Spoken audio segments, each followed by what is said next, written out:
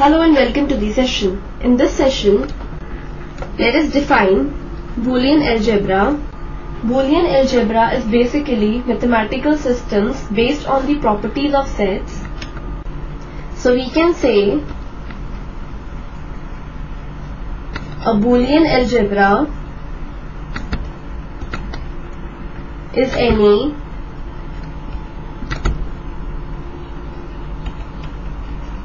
mathematical system.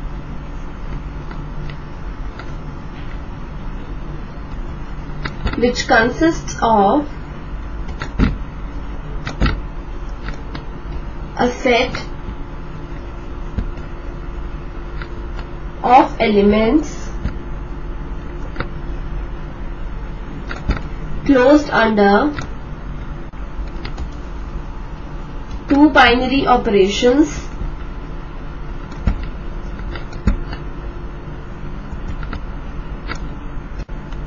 intersection and union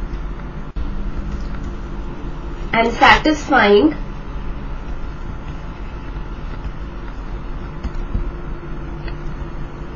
the following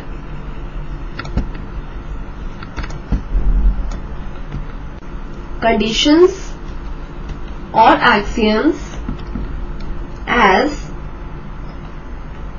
the first one which says that both the intersection and the union are commutative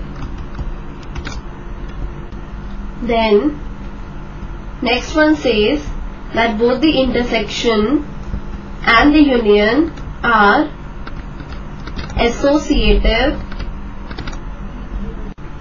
Then next we have that each operation is distributive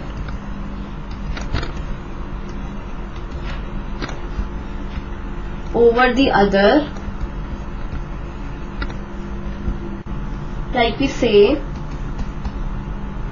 for any three elements A, B and C A intersection B union C the whole is equal to A intersection B the whole union A intersection C the whole. So this means that intersection is distributive over the union. Then next we have A union B intersection C the whole is equal to A union B the whole intersection A union C the whole. So in this case union is distributive over the intersection. Next we have the identity element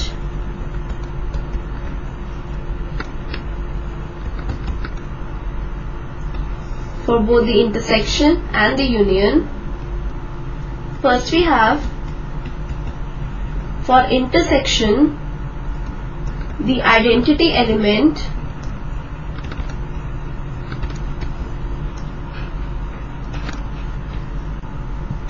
may be named as 1 then for union the identity element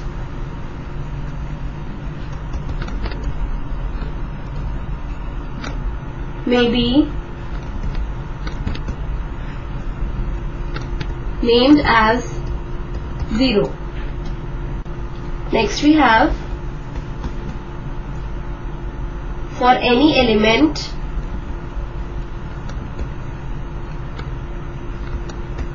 A there exists A complement such that A intersection A complement is equal to 0 which is the identity element for the union and A union A complement is equal to 1 which is the identity element for the intersection. Let us now discuss the general definition for a Boolean algebra of any number of elements. a non-empty set B with two operations of sum and product. That is, we can also say that an algebraic system consisting of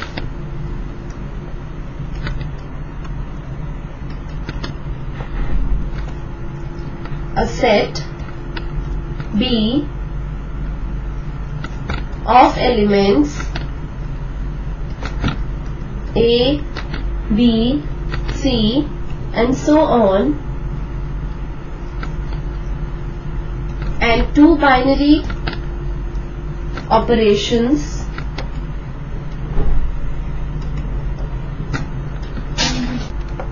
called the sum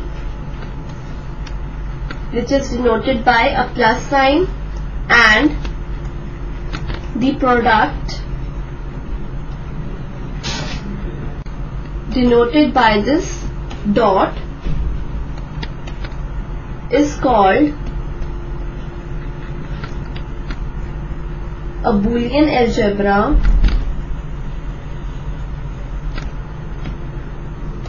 if and only if for all A, B, C belonging to the set B the following axioms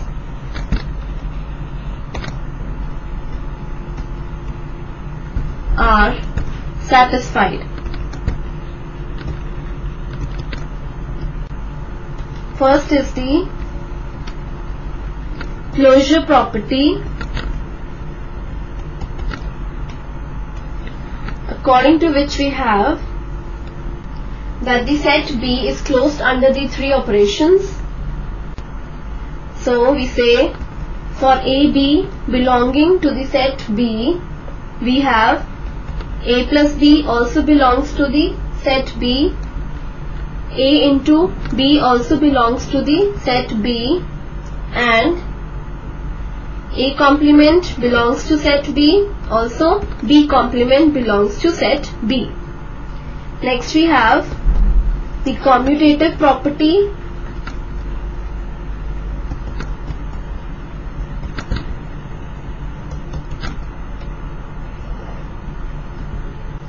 that is for AB belonging to the set B we have a plus B is equal to B plus A. Also, A into B is equal to B into A. So this shows that the operations of sum and product are commutative. Next we have the associative property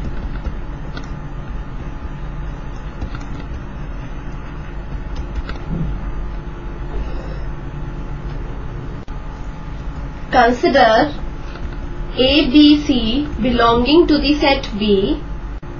So, A plus B plus C the whole is equal to A plus B the whole plus C.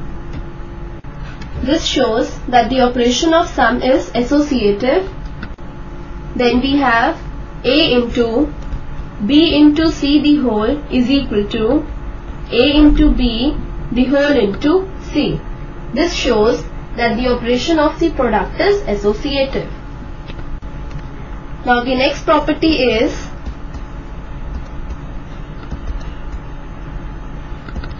the distributive property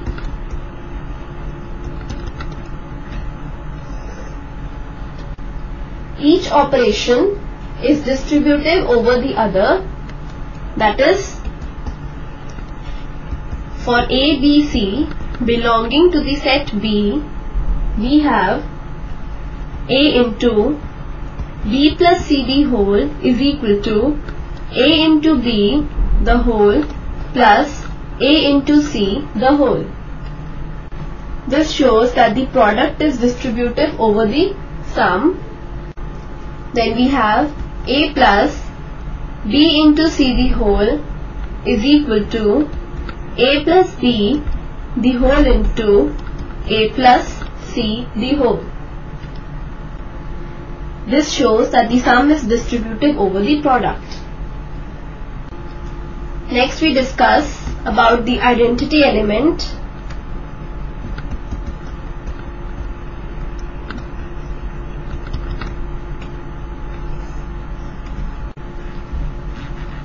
For all A belonging to the set B, we have A plus 0 is equal to 0 plus A and this is equal to A. Here the 0 is the identity element for the operation of the sum. Also we have A into 1 is equal to 1 into A is equal to A and here this element 1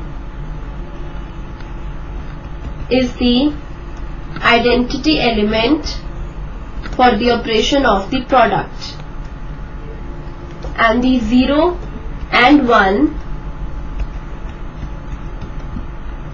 belong to the set B. Next we discuss about the inverse element.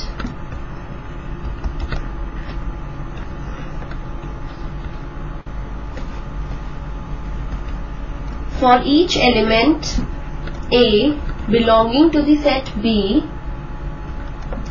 there exists A complement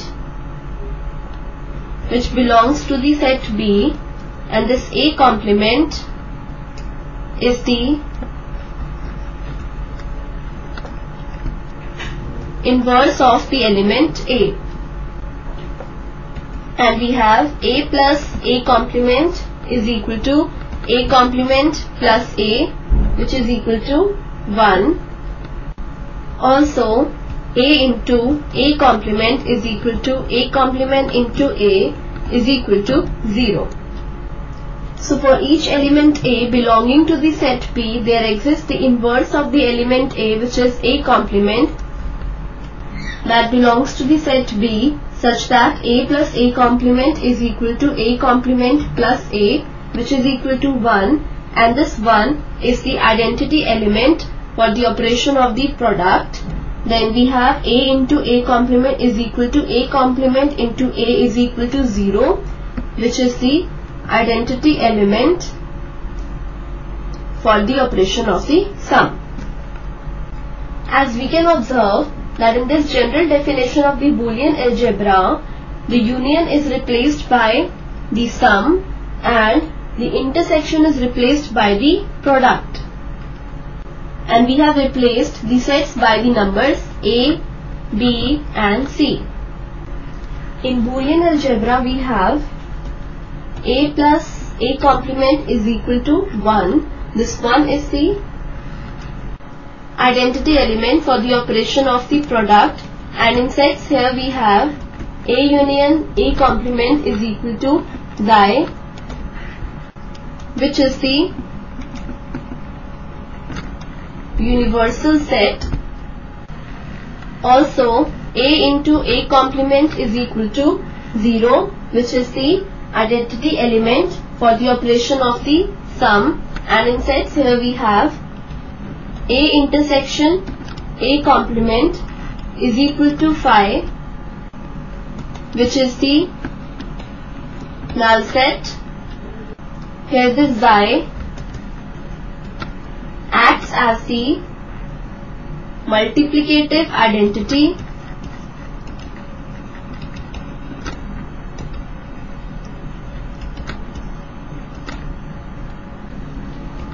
as we have A intersection xi is equal to A and this phi acts as the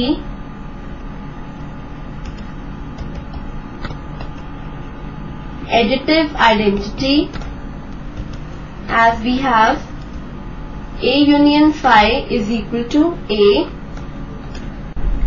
for all A being the subset of the universal set xi. Next we discuss duality in Boolean algebra. In a Boolean algebra,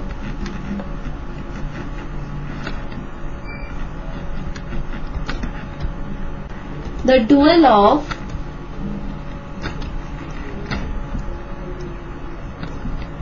any statement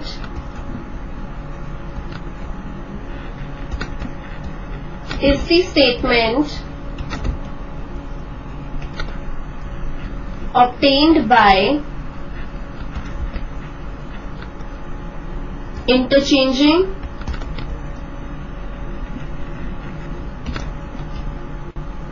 the signs of plus that is the sum and the product. Then 0 and 1 in the original statement.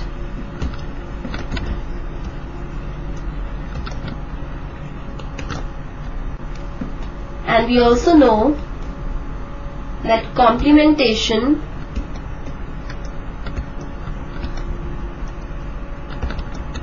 is a self-dual. This holds true from the principle of duality which states that the dual of any theorem in a Boolean algebra is also a theorem. Then in any law or theorem on sets union and intersection are interchanged and also the null set phi and the universal set xi are interchanged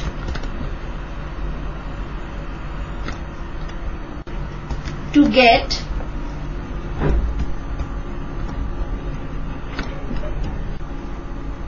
the new law or theorem which is valid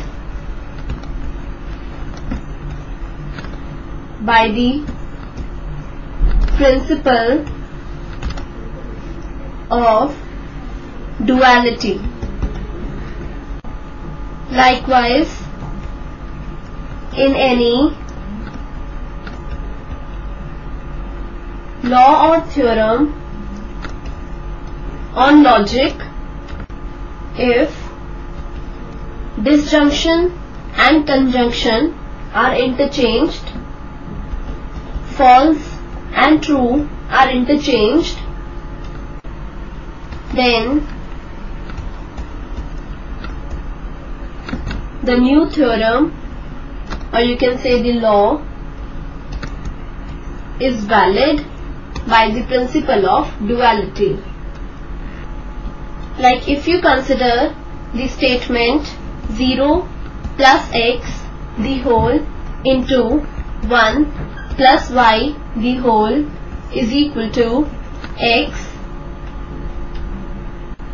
then the dual of this statement would be obtained by interchanging the plus and the dot 0 and 1. So its dual would be obtained as 1 into x the whole plus 0 into y the whole is equal to x. So this is how we can find the dual of any statement. This completes the session. Hope you have understood the definition of Boolean algebra and also the duality in Boolean algebra.